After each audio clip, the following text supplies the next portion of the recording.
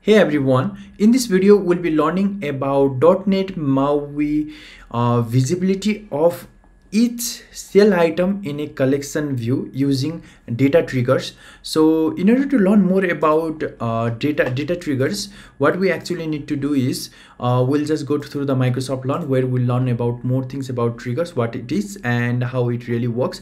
And in this video i'll just uh, uh explain more regarding the data triggers. What actually happens is whenever some of the property like uh, from the API if we get uh, some type of false for each individual cell then what we actually need to do is we are going to use a data uh, triggers to uh, disable the height of the whole individual cell. That means 2 or 0 okay? So in order to do that i'll just show it to you how it really works. So this is a basic collection view. And here in the collection view what we are actually going to do is we are going to bind a list of item from the view model. That means MVVM binding. Okay?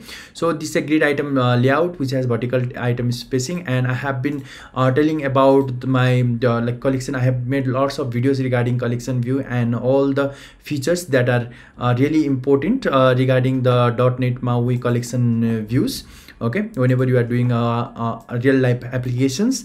So uh, what we actually need to do is like we are going to bind name and the age okay? Name is and is is uh, item is visible property okay? So for the specific grid. And uh, these three items are going to be delivered from the api or from the database too okay? And um, what we actually need to do over here is uh, for the uh, like uh, for the label as well as is binding we know that previously. And for grid dot triggers so this is how the uh, grid dot triggers works. So that means if uh, it, it targets the grid anyway okay? And then if the property is visible equals false if that whole grid visibility is set to false that means which is delivered by this statement okay? So this grid statement is provided by the api okay? And if that is visible property of that grid is false then height of that specific grid is zero. That means we are going to hide that item from the here. Okay so there is some space.